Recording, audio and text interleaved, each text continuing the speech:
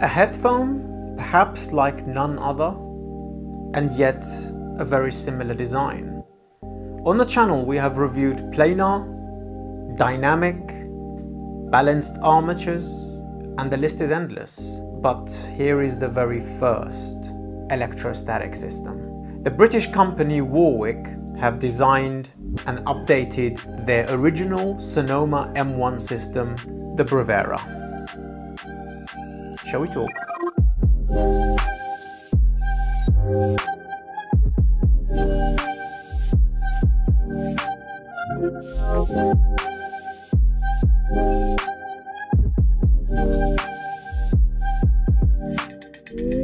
A special thank you goes out to Warwick Acoustics for sending this unit in for review. It's very, very much appreciated.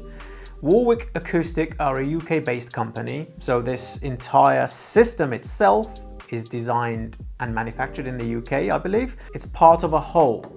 It's an ecosystem. I'm genuinely excited getting this unit in for review because the hype in our community was off the charts, especially those boys who heard it at Munich. And when Golden Sounds Cam got this in-house and started ranting and raving about it, I was genuinely, genuinely curious to see what the deal was. A special thank you goes out to Martin for actually setting this up and Mimic Audio and Cam from Golden Sounds. I really do appreciate it. As you can see, it's a very small unit. This is designed to be placed on your desk, not to be touched, not to be swapped out with something else, the DAC part, the amp part. This is not the conventional stuff you see behind us. This is a fully enclosed electrostatic system where this driver cannot work with another amplifier, where this amplifier energizer cannot work with the headphones you see behind us. This is a singular unit. And yet, this unit can drive the original Sonoma M1 headphones and this Bravura, now released, can be used with the original Sonoma M1 Energizer, which is basically this one. They've not touched this part of the unit. This is a 6,000 pound unit $6,000 probably in the US. Look down in the comment section for the latest pricing. This one is the silver unit, but you can also get this in black.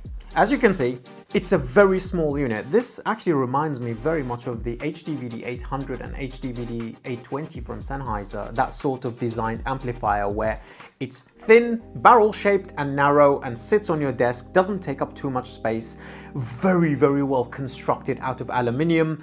You can see these wavy line vents. This is to dissipate heat because this is a single-ended, high-performing Class A FET amplifier. Energizer for the sake of this setup, obviously, but still amplifying the signal. Should we take a tour around the unit and see what we get? First and foremost, looking at the back of the unit, we have a on and off switch. I wish this was on the front, but it's not too much of a big deal because this unit usually gets left on most of the time, I'll be honest with you. And it's very tactile, very clicky, very premium feeling. Doesn't feel cheap, to be honest with you. None of this unit feels cheap at all. Um, it's dense. It's very, very dense and very well constructed too. Next to the on and off switch, we have a barrel connection for the power supply. This partners with this switch mode power supply. It's in two parts, half of it in here and half of it inside the amplifier, obviously. Operating at such a high band frequency, around 85 kilohertz, is so that there is no leakage into the audio signal when there is switching done. It's nicely built, it's not too bad. Power supply, it's cord covered, though bringing it back actually onto frame, you do find that um, you really have to kind of yank the cord to actually get those kinks out. But there is some form of memory in here so that it will keep that shape. So if you do bend this around another equipment at the back like that, it will keep this shape like this, which is handy or annoying depending on who you are. And obviously, as you can see, the barrel connection correlating with the power supply connection at the back of the unit screws in. This is a high bias voltage amplifier. 1350 volts DC to be exact. This runs considerably higher than traditional electrostatic systems, which usually cruise around 250 to about 400, 500 or so, I believe. The bigger brother, the Aperio, runs even higher at 1800 volts. That's why you cannot use the Bravura headphones with the Aperio system or vice versa. This headphone is only for this energizer. Using a fixed frequency switcher, this power supply provides three times the amount of power that this unit requires so that there is plenty of headroom. And obviously, like I stated just previously, that um, operating at such a high frequency band, there's no chance of that leaking into the audio signal at all. And it's been stellar when it comes to that. The other part of the power supply is inside the unit, providing all the stages of low noise and high current stages. So you've got nothing to worry about in regards to swapping power supplies. I don't think you even can, to be honest with you. This is an enclosed ecosystem so that everything is supplied for you and everything is of the absolute topmost caliber. Next, we have the digital inputs. We have USB-B. This can input 32-bit 384 kilohertz and coax 24-bit 192. Then a pair of RCA inputs and a 3.5 input, high-low gain. This only applies to the analog inputs. This does not apply to anything else, obviously. And then we have a switch at the front this is to change between the inputs from the analogs and obviously the digital inputs being USB or coax. Let me spit this unit around. It's very light, uh, but very dense. It's kind of odd. It's a very nice balance. This is the headphone out. This is the input switch from the analogs and the digital. This is a fully digital interpolated digital volume, obviously. No stepped attenuator here. But there is quite a lot to say about this unit in regards to the digital realm. The chipset inside the unit is the Sabre ES918 in mono configuration, so one per side. And in line with this, because the unit is fully digital internally and it uses DSP correction to convey and to correct and to give the frequency response Warwick desires, it has a analog to a digital converter 2, flagship AKM chip. ESS for the out, AKM for the in, and then conversion basically. So whatever DAC you put through this with the RCA input or the 3.5, you find that it's redigitalized from analog to digital again before going through to the drivers. And it does a very good job, I'll be honest with you. So most of the time when I tested other DACs with it, which we will get onto in the equipment pairing section, etc., for as limited as it is, obviously, in that realm, um, I found using the internal DAC yielded far stronger results than something else.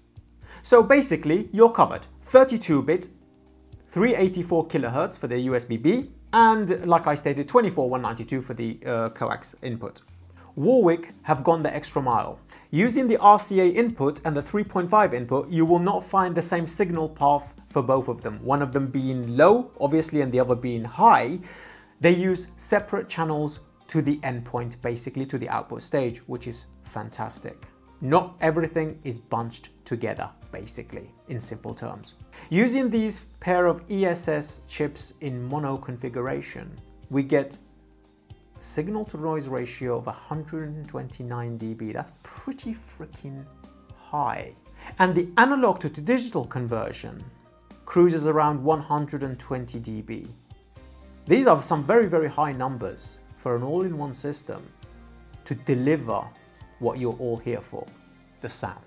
But before that, we actually need to look at the drivers.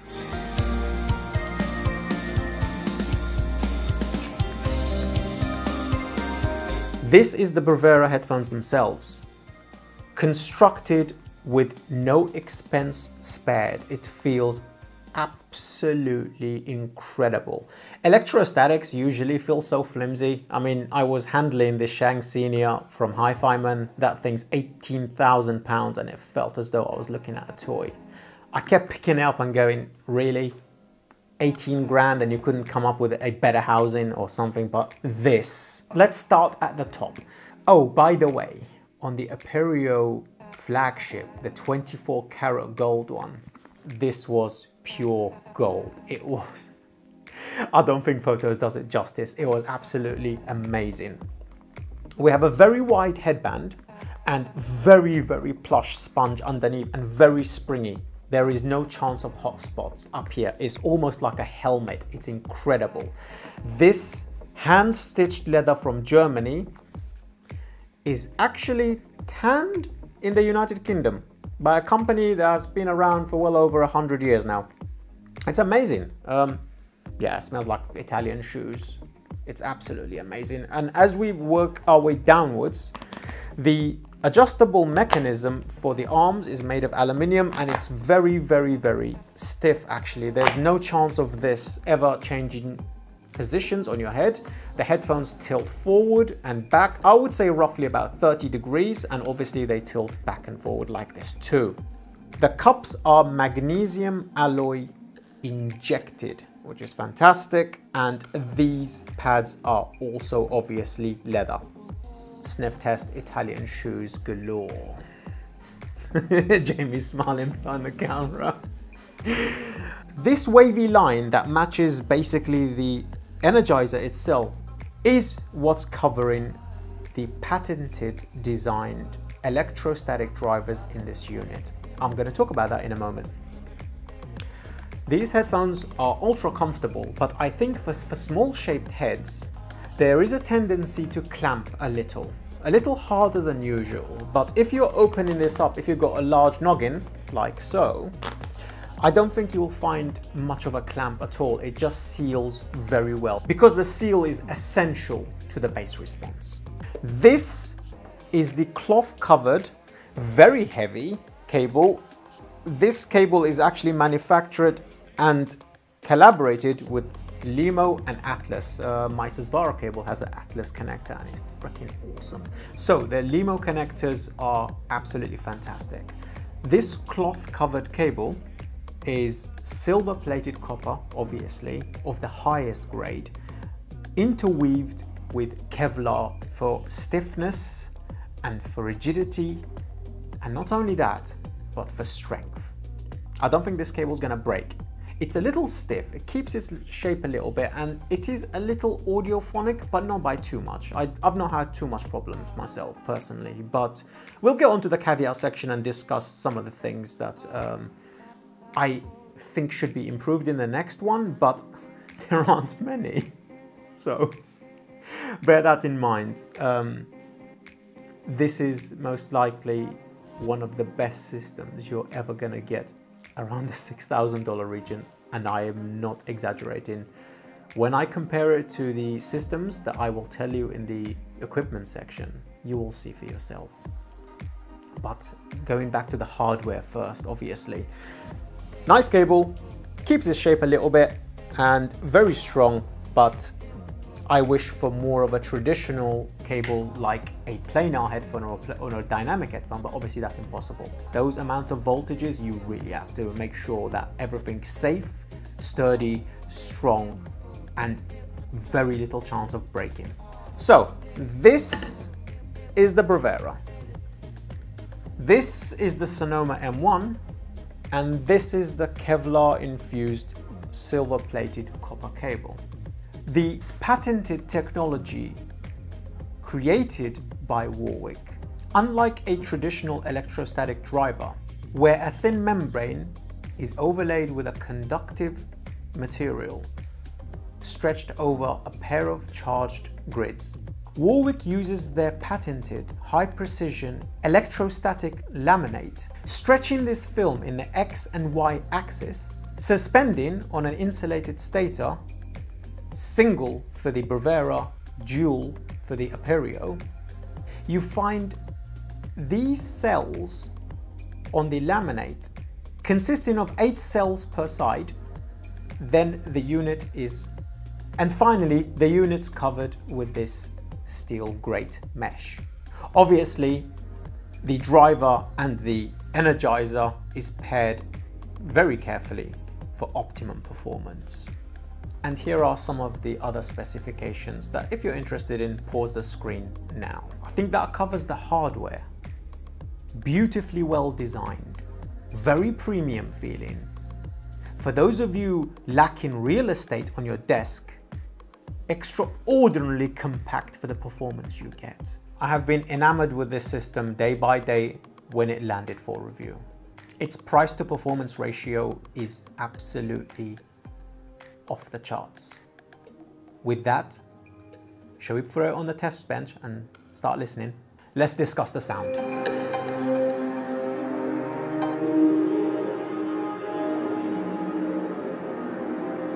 So what do you get when you plug this system in compared to other systems? Does the price tag warrant the sound quality?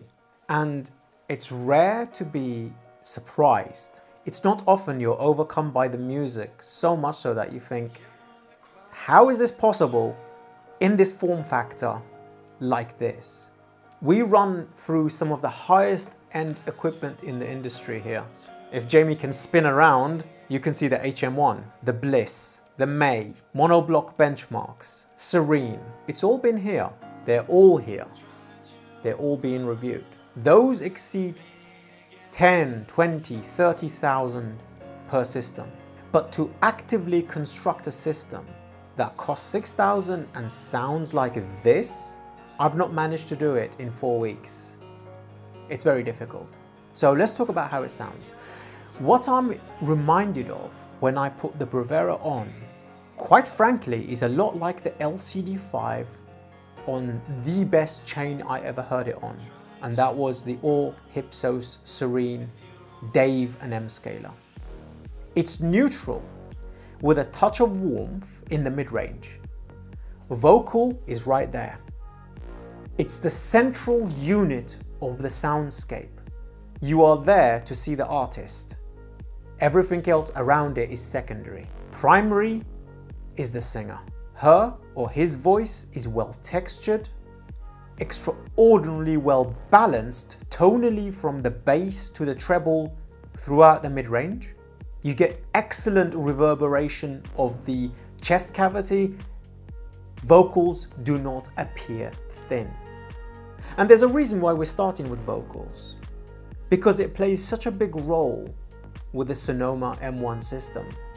It captures the soul of the music. You are pulled in into the lyrics. The equipment disappears. So with that, I will tell you, if you are an equipment head, a gear head, this system's not for you. If you fancy swapping DACs, amplifiers, 10 headphones in one sitting, say bye to this system. But I can promise you, if you're putting 6,000 on the table and going, I want the best, get me what you can, I don't want to have to think about anything again. It's very much like iPhone owners.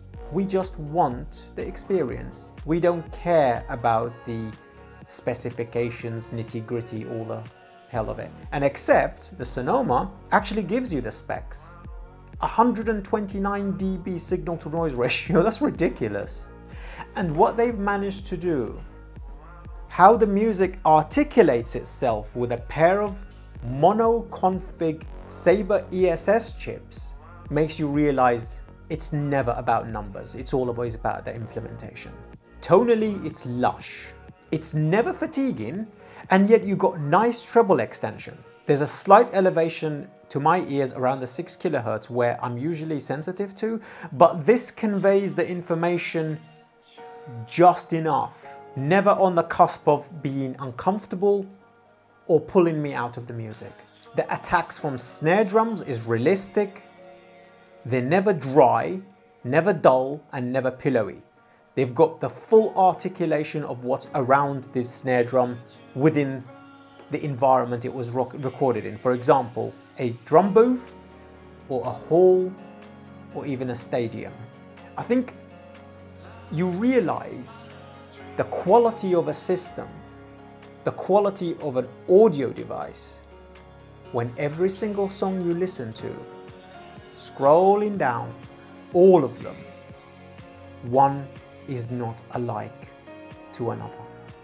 Because no engineer goes into the studio and goes, okay, I'm going to give you this song. It should sound like a song and it should sound like yesterday's song and the song you listened to prior. Every song shrinks, expands, separates the way the engineer intended those instruments to be conveyed within the stage. And obviously because of the electrostatic driver, speed, transparency, detail retrieval is off the charts obviously. We are talking Susvara levels and at this level of the $6,000, like so attempting to throw Susvaras on a $6,000 chain or create a chain like that, far surpassing it. Does Susvara sound better than this? Do me a favor, press that subscribe button, you know? It's, it's right there. It, it, won't hurt you. I promise you'll probably save a puppy too. And you can actually scroll to the comparison section if you're impatient. But for the time being, at $6,000, Bravura can't be touched. The sound signature is warm, but ever so slightly, and this uh, warmth emphasizes itself within the mid-range where electric guitars tone from female singers. Electroacoustic guitars, etc. are emphasized and it's very well articulated. There is always a caveat with electrostatics and that is the punch and the bass region. And I'm very, very, very glad to say in this scenario, this one does not have any problems delivering deep sub-bass levels of tone managing to sustain the 20 hertz region, not rolling off, and yet leading a nice support to the mid bass region so that it doesn't feel overly bloated in the mid bass region. You got super punch and attack. Taking a track from Infected Mushroom's test album for the channel, Converting Vegetarians, that kick drum from the very first track tries to concave your eardrums, but in a very balanced way, in a very articulate way. It's never pillowy and it's never overemphasized where that region of the frequency response impeaches on the upper bass region and the upper bass region therefore colliding into the lower mid-range. The Bravura is a very easy listen. It's not just for listening to high quality music. I've actually been using it as a daily driver catching up on YouTube, catching up on TV programs, it's extraordinarily good for gaming. Some headphones, like the Raal CA1A over there, you find actually is very genre specific and track specific, though superb. I never found a genre of music with the Bravura that I thought, nah, not this one. It just works. Implementing DSP correction they're using a 64-bit uh, Exynos processor. They have done such an incredible job making sure that everything's always well balanced. I can't praise this headphone enough. It's articulate, it's transparent, its detail retrieval and speed is off the charts, it's got fantastic punch, excellent sub-bass region, well-detailed extension on the treble region without being fatiguing, good air, and stage is good. Stage is not on the level of Susvaras on a super high-end chain, but Stage opens up big. And it's a spherical 360 degree landscape. But maybe I can convey this to you better. Let me paint you a picture.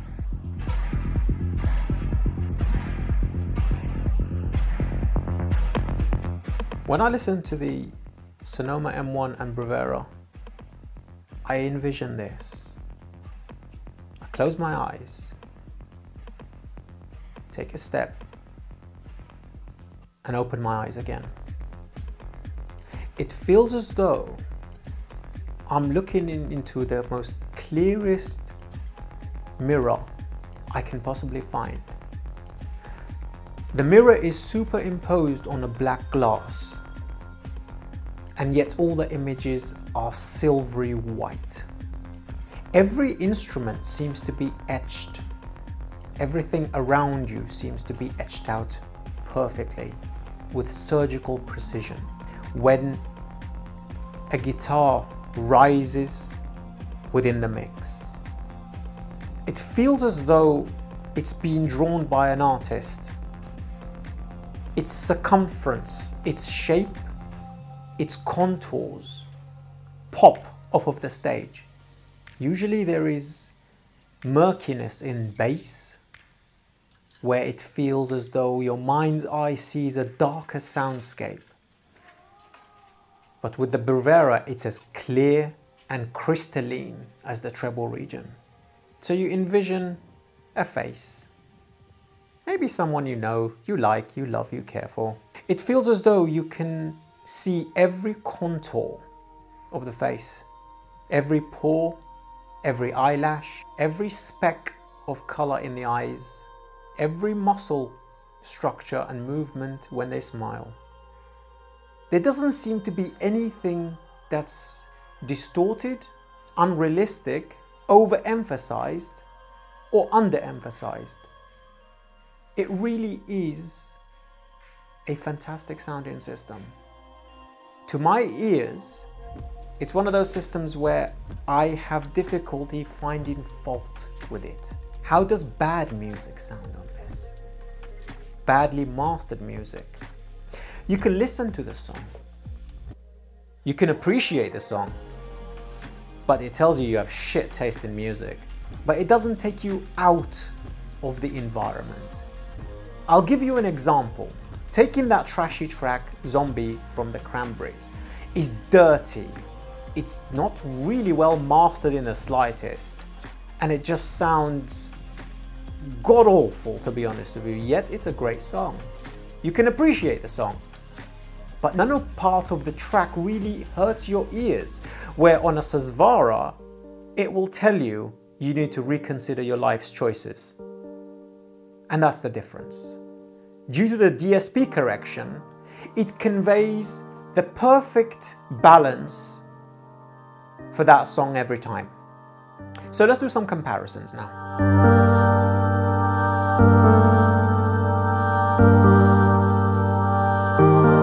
We have a variety of systems on the desk. This is the Holo Stack, the May, the Bliss, and the Red Streamer. This is the HM1 from Mike Zahl. This is the Luxury and Precision P6 Pro using the Ambient Acoustics MAD 24. I've been trying to build a system for 6000 like for like to match the abilities of the Bravura. The first system I'm going to take is this one here next to me. This is the CMA15. One of the best price to performance ratios amp DACs on the market right now. $2,500. Yet, with Susvaras, it brings the total up to 8,500. That's $2,500 more. That's a third more than the actual asking price of Bravura. And yet Susvara doesn't hit as hard. Stage is bigger, timbre is better, but you don't get the sub bass and the mid bass punch the way you do on Bravura. Detail retrieval and the ability to convey the information, the transparency, Bravura wins. It's a better system. That is the cheapest Susvara system I found. With Bliss, you would have to introduce a DAC. The May, then you're talking about a $16,000 system. Can't be done. Okay, move on to the HM1. You're already out of price. That's 8,500. That can't be done either. The only system I have found that I think I could take just as well as Bravura, but completely defeats the whole headphone at a desk, and then you're introducing IEMs, which is sometimes a no-no, and then this unit is not quite good in the USB. See, I'm already making compromises. But for sound quality, the luxury and precision, this is 4,000, ambient acoustics MAD 24, 3,500. You're already exceeding the 6,000 limit by 1,500 And there you get incredible levels of performance, almost Susvara. On the go. Is it as good as the Bravura?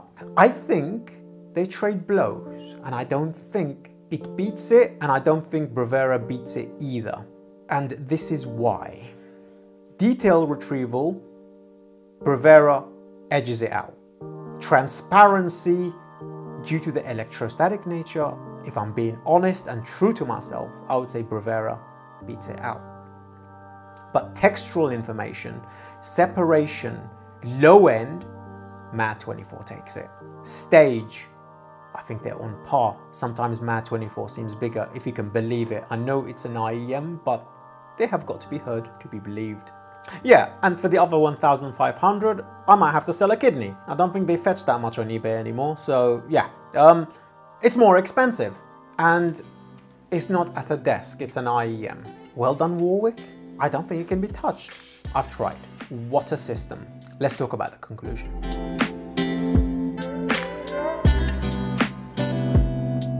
The Bravura system right now is the best value for money in the super flagship realm.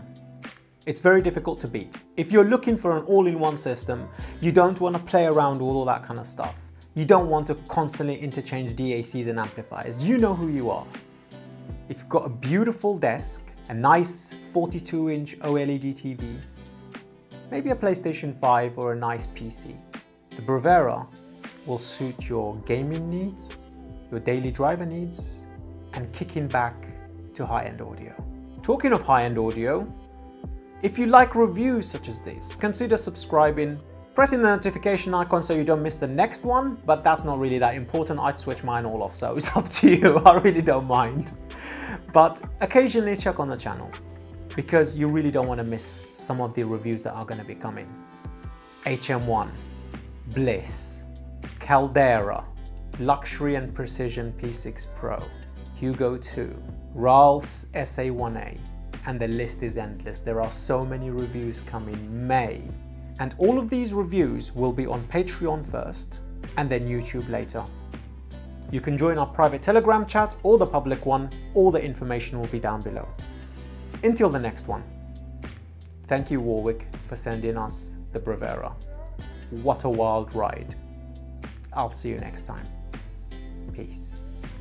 Oh, by the way, the $30,000 Aperio is coming for review too. But shh.